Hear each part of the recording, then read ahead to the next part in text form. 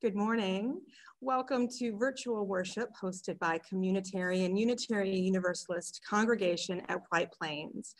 I'm Tracy Brenneman, the Director of Lifespan, Religious Education, and Faith Development.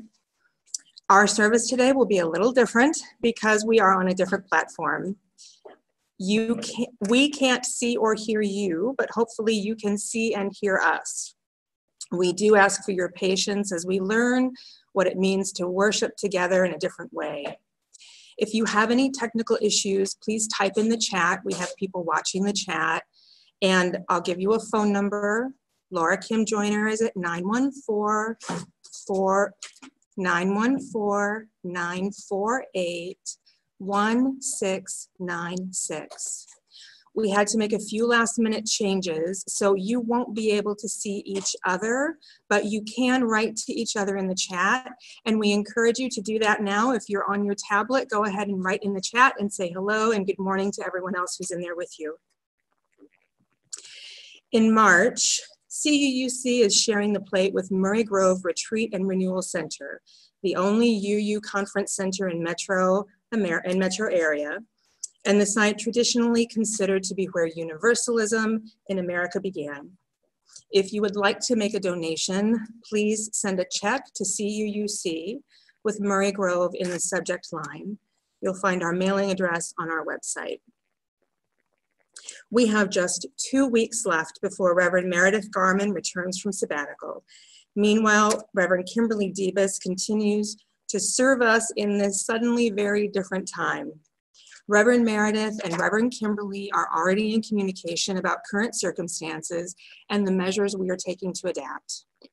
We are so glad to welcome so many of you today, members of CUUC, as well as members from other congregations here in the Hudson Valley and beyond, and our Westchester community members. It's an honor to make space for us to be together in this way. As Reverend Peggy Clark writes, closing public spaces forces people to spend more time at home, staying still is an act of kindness. This is how we take care of each other. Certainly, many of us don't have the option to stay home, but for anyone who does, this is what we are called to do. This is not hysteria. This is reasonable community living. Today, closing schools, shutting down Broadway, suspending in-person in -person gatherings is what love looks like.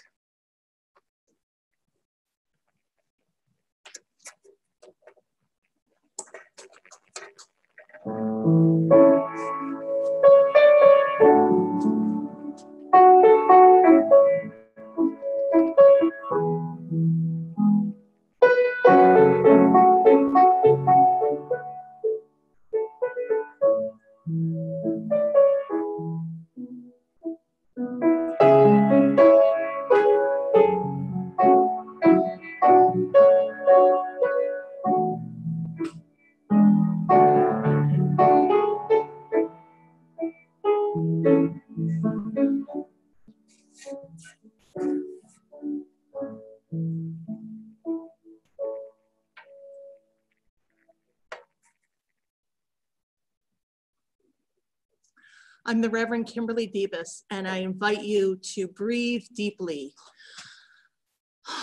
as we come together in worship with these words from Jennifer Kitchen. Come, sit by our fire, and let us tell stories.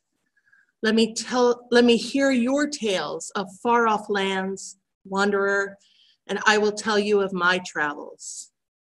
Share your experience of the holy with me, worshiper and I will tell you of that which I find divine. Come and stay, lover of leaping, for ours is no caravan of despair, but of hope. We would hear your stories of grief and sorrow as readily as those of joy and laughter, for there is a time and a place and a hearing for all of the stories of this world. Stories are the breath and word of the spirit of life that power that we name love. Come, for our fire is warm and we have seats for all. Come again and yet again, come speak to me of what fills your heart, what engages your mind. what resides in your soul. As we light the chalice in this space, I invite you to light a chalice or a candle in your own home.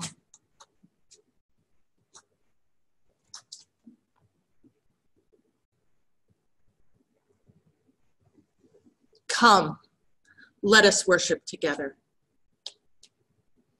We invite you now to sing, and yes, it may seem a little strange to sing in your home by yourself or just with your family, but I promise you that we will do our very best. Our hymn is set to a familiar Welsh tune, Hyfrydol, and UU composer Tommy Snell offers these brand new lyrics to hold us in this time of uncertainty. We invite you to sing along with us.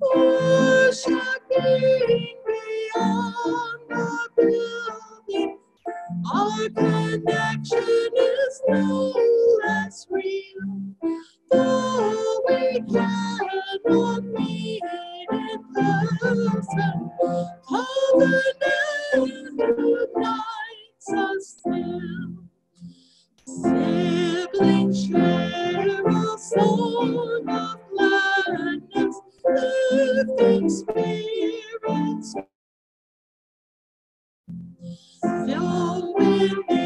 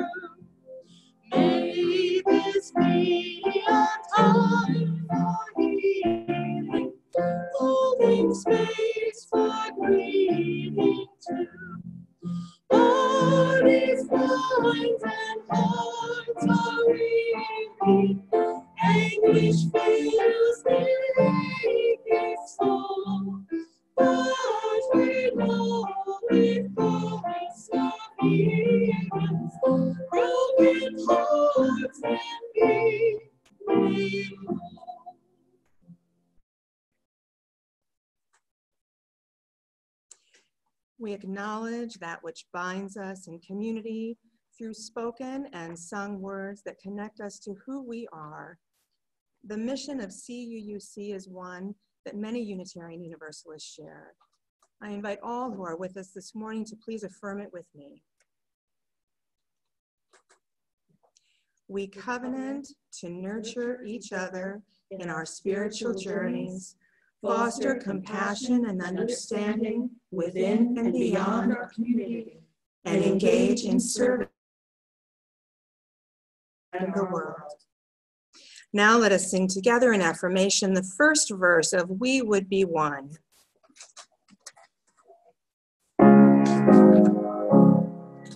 We would be one, let us now rejoin in singing. Our hymn of love to stand ourselves anew. To that high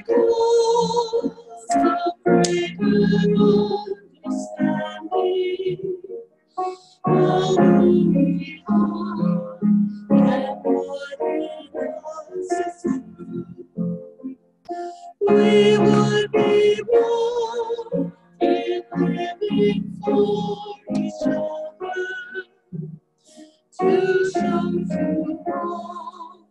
a new community.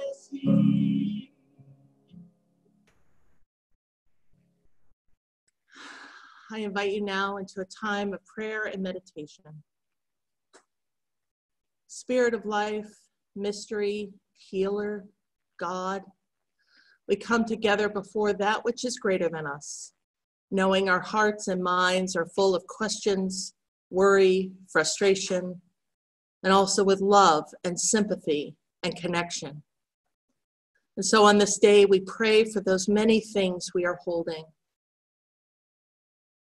We pray for those things that give us joy and hope. Let us call to mind those things that we trust in, believe in, will sacrifice for. These are the gifts of grace, and perhaps we need not define them in order to savor them. Rejoice in them, be thankful for them.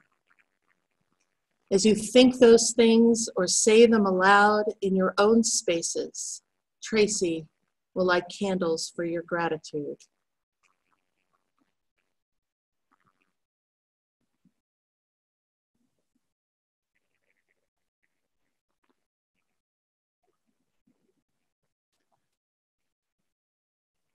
We pray for those facing serious physical problems and are in need of healing. Some of you may be self quarantining or are otherwise concerned for your health and avoiding the virus. Others are already carrying health concerns for yourself and for others. As you think of these people and think of these concerns, think their names or say them into your own spaces and Tracy will light candles for healing.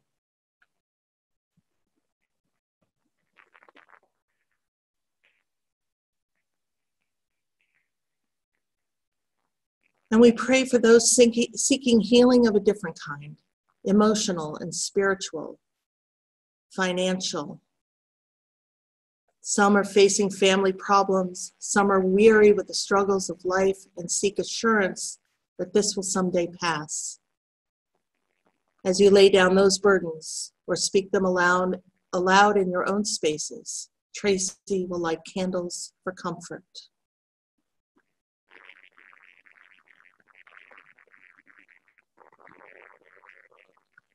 We pray for those for whom life is often hard because of finances or legal, legal issues, and for whom this need to reduce physical space in order to flatten the curve means additional struggles for work, transportation, childcare, food. As you remember those who may be struggling, or if you struggle yourself, speak those struggles aloud in your own space. Tracy will light candles for relief.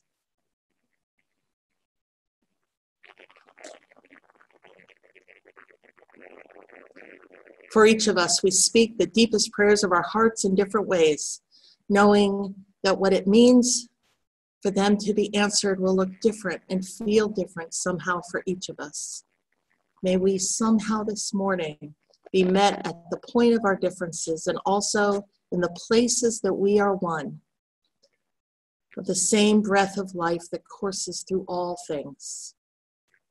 And let us remember those prayers that go unspoken for many reasons, knowing that we are not alone as we hold one another in our hearts. Amen and blessed be.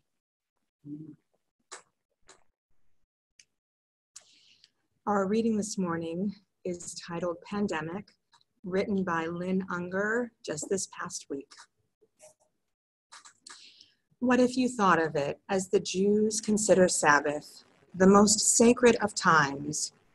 Cease from travel, cease from buying and selling, give up just for now on trying to make the world different than it is.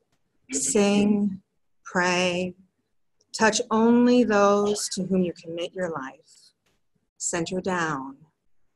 And when your body has become still, reach out with your heart. Know that we are connected in ways that are terrifying and beautiful. You could hardly deny it now. Know that our lives are in one another's hands. Surely that has come clear. Do not reach out your hands. Reach out your heart. Reach out your words. Reach out all the tendrils of compassion that move invisibly where we cannot touch. Promise this world your love for better, for worse, in sickness and in health, so long as we shall live.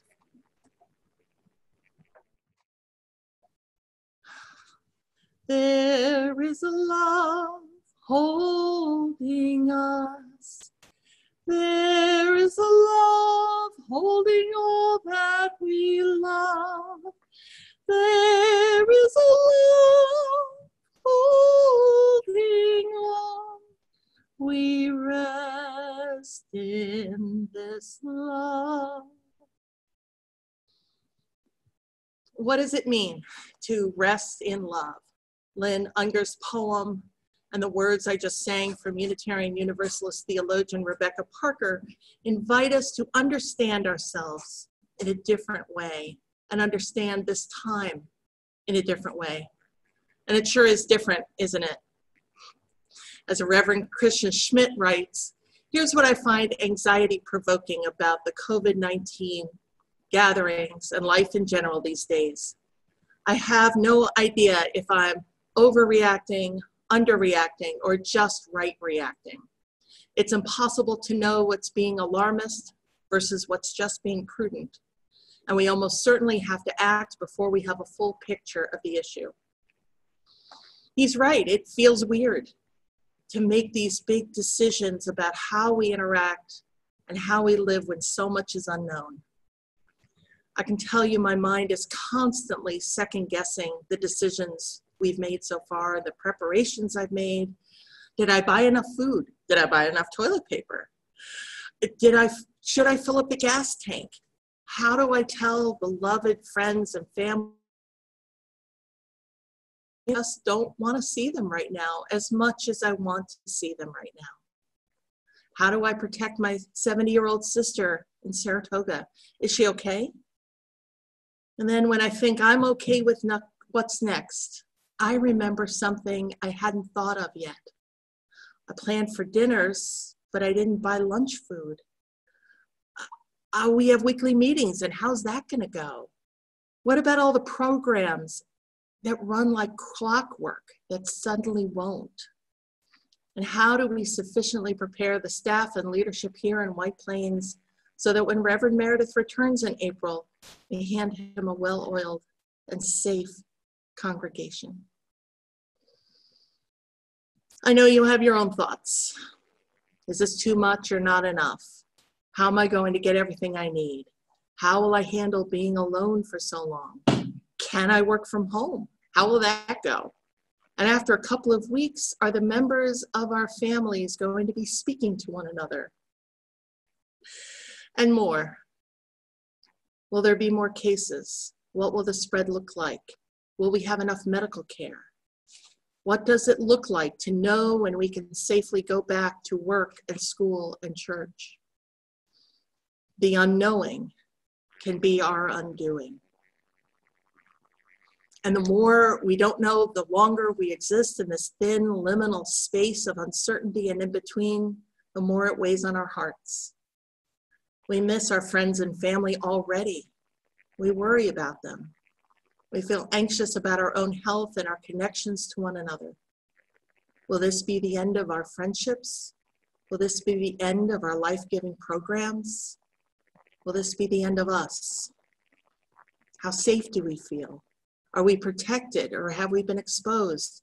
Some of us worry that we've been carrying the virus for weeks and are already spreading it.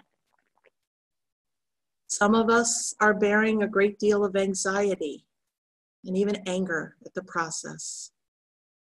Let's breathe.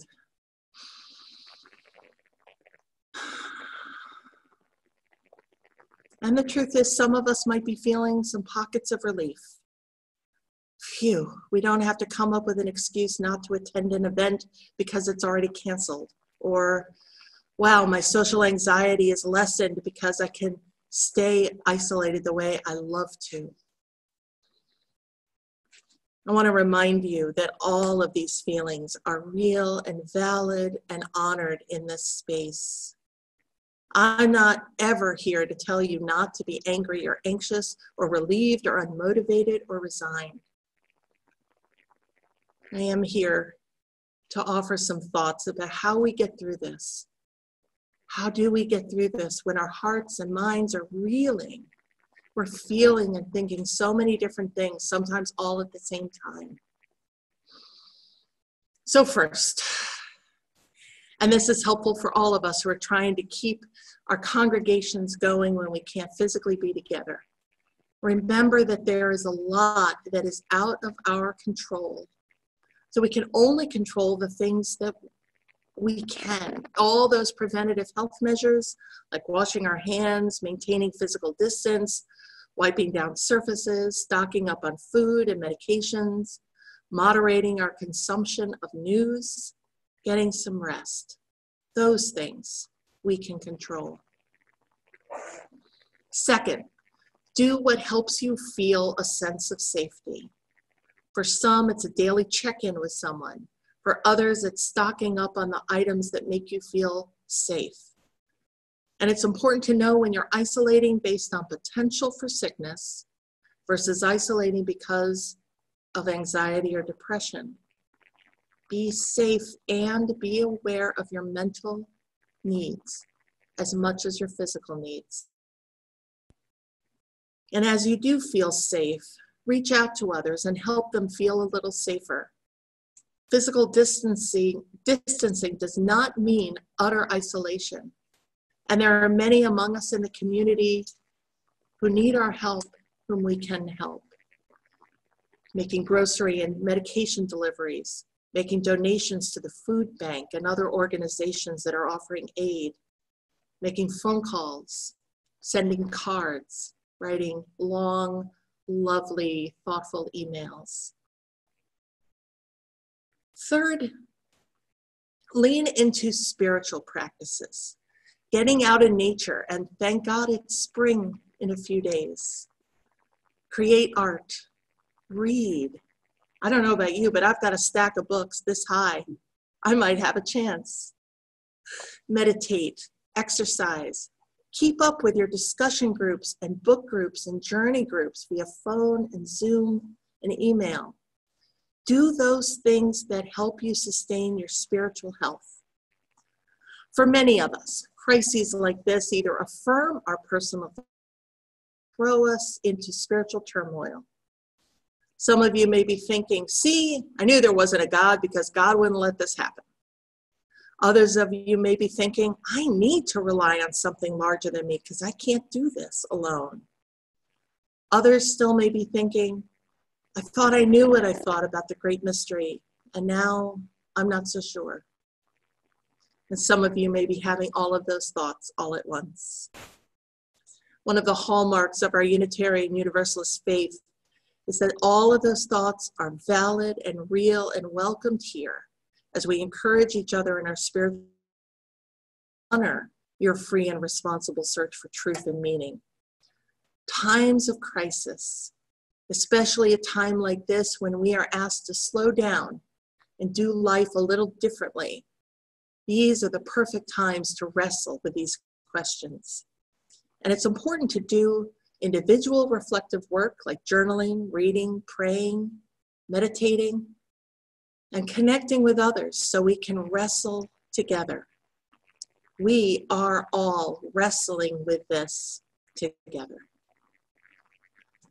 Remember that while we are physically apart, we are not alone we are connected via what seems like the future on this live stream. We're connected by phone and email and Zoom, and we do have opportunities to see one another. Maybe by taking a walk with our friends four or five feet away from us. We can deliver groceries and medications, call a friend to sit with us, a few feet away, but emotionally close. We can find ways to play games online or arrange a Netflix watch party or listen to bedtime stories together or find company in virtual workspaces or attend an online holy day celebration or meet with our committees and our book groups and our journey group. We may be physically apart, but we are connected, resting in love. Unitarian Universalist musician Connie Campbell Hart invites us to remember how love holds us in the lyrics we sing in hymn number 18 What Wondrous Love. Let's sing it together.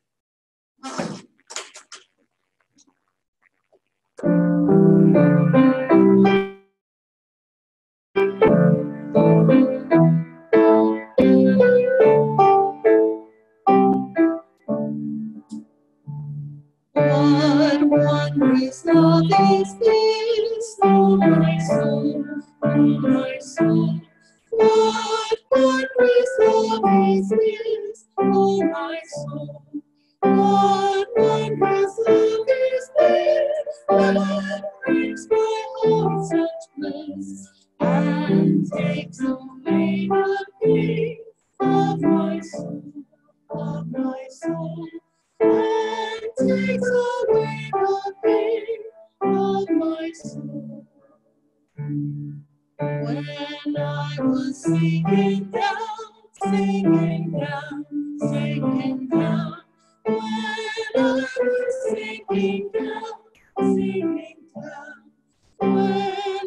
When I was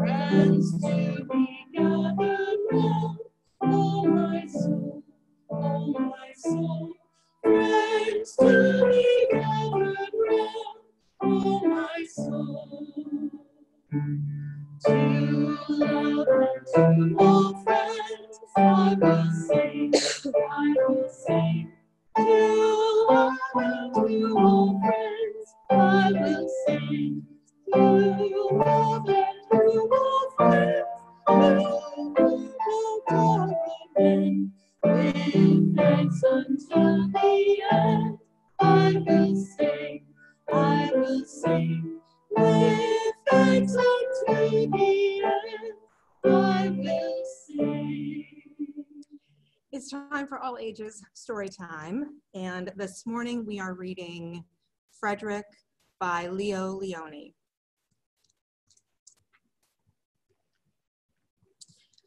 All along the meadow where the cows grazed and the horses ran, there was an old stone wall.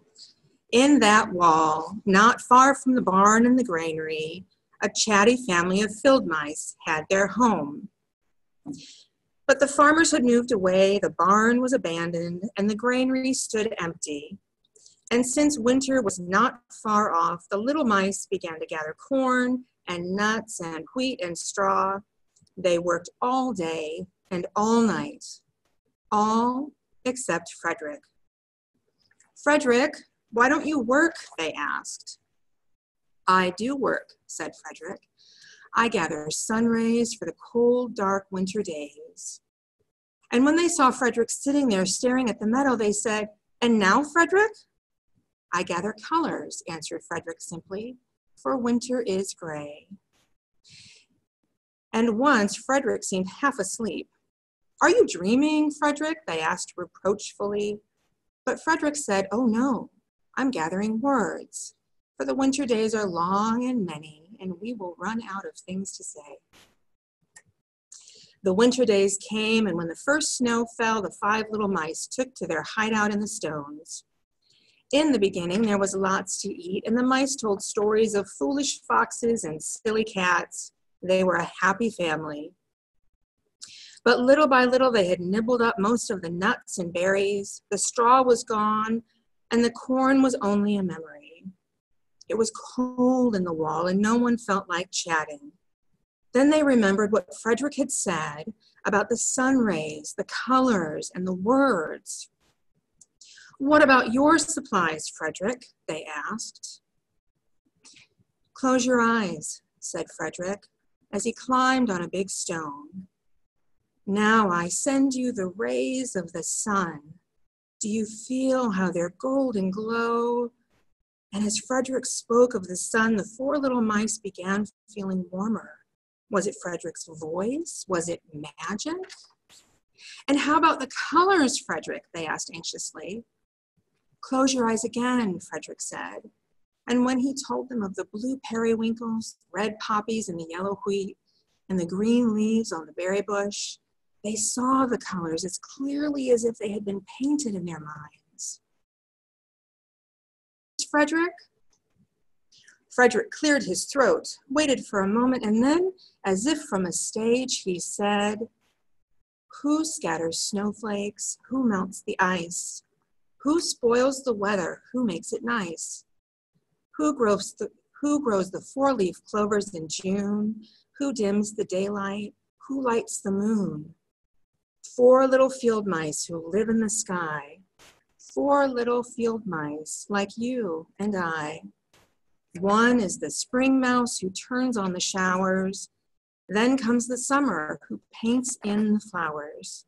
The fall mouse is next with walnuts and wheat, and winter is last with cold little feet. Aren't we lucky the seasons are four? Think of a year with one less or one more. When Frederick had finished, they all applauded. But Frederick, they said, you're a poet. Frederick blushed and took a bow and shyly said, I know it. Now is the time. Now is the time we call on all the beautiful bits we've been gathering and storing as we've connected during countless coffee hours, journey groups, classes, visits with Reverend Kimberley, with Reverend Meredith and each other, music, stories, meals, and meetings, we have been storing up community. We have inside us the warm rays, the bright colors, and the dear words that remind us we are connected. These are the stories we will call, that we will call on as we find new and probably unexpected ways to be in community together. The gifts we will share with each other in the coming weeks are the gifts of presence, grace, patience, listening, and caring. We won't simply encounter each other's in the hallway or coffee hour. It will be up to each of us to join check ins, online bedtime stories and groups. We will call each other, and as it feels safe to do so, we may go for walks outside together. Now is the time.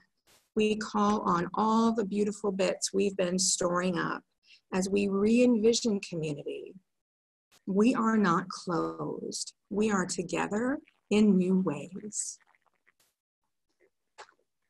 Our lives look a little different now, but we want you to remember conversations will not be canceled. Relationships will not be canceled. Learning will not be canceled. Self care will not be canceled. Hope will not be canceled. Love will not be canceled. Songs will not be canceled. And there are many songs that hold us in these uncertain times, like Comfort Me from UU musician Mimi Bornstein. Let us sing it together now. Comfort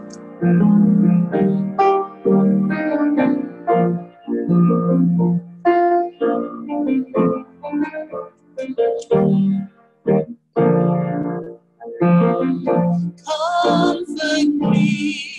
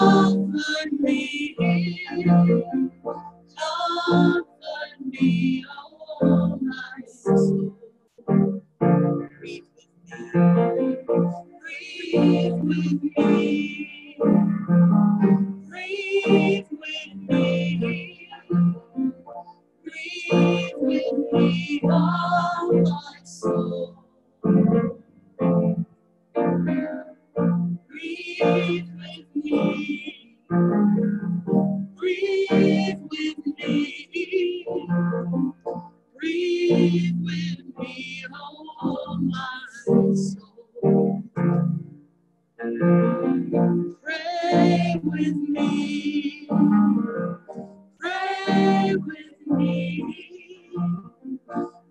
Pray with me,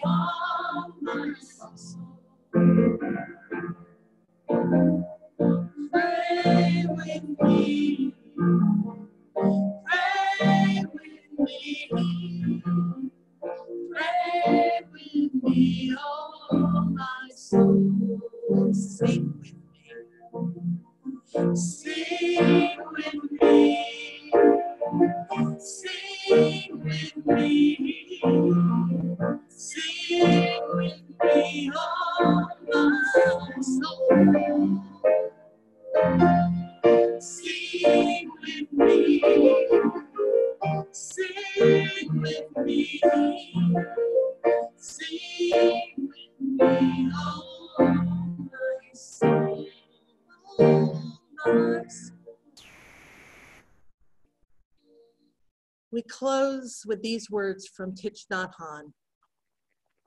It is possible that the next Buddha will not take the form of an individual. The next Buddha may take the form of a community, a community practicing understanding and loving kindness, a community practicing mindful living. This may be the most important thing we can do for the survival of the earth. Amen and blessed be. And now I invite you to join us in singing our benediction, Spirit of Life.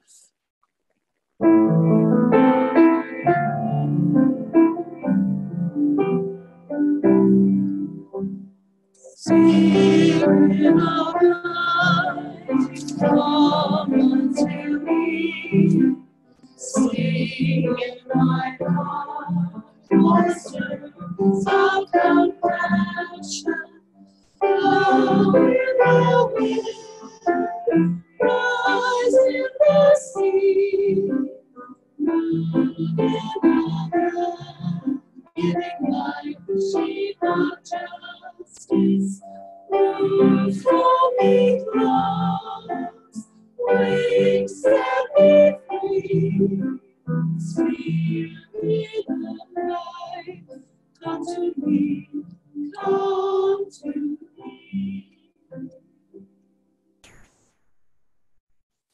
Please join me in speaking these words as we extinguish our chalice.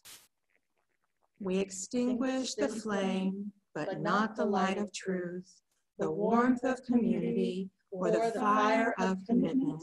These we carry in our hearts until we meet again. Thank you so much for being with us. We also want to thank the people behind the scenes, Kim and Christian Force, Laura Hi. Kim Joyner, Christine Haran, and Pam Parker. If you'd like to stick around in about 15 minutes, I will lead you in a chaff- chalice craft activity so that you can make a chalice for home. But right now, as we unmute everyone or you unmute yourselves, wish each other peace with the words, I hold you in my heart. I hold you I hold you in my heart.